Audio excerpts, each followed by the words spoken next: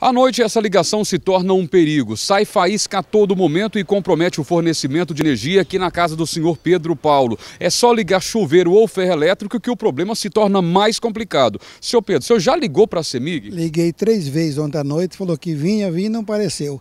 Para mim são os bandos de mentirosos.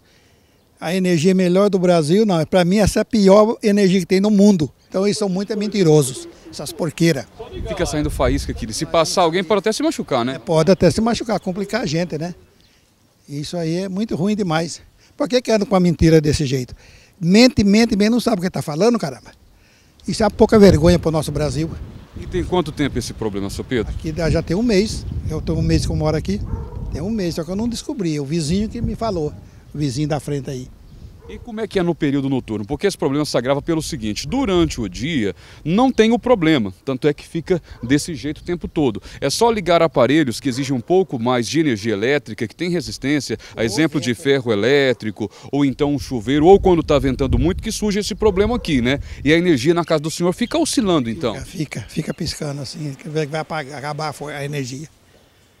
Fica desse jeito aí. Aí a gente tem medo, né? Eles vão esperar acontecer o problema para depois resolver?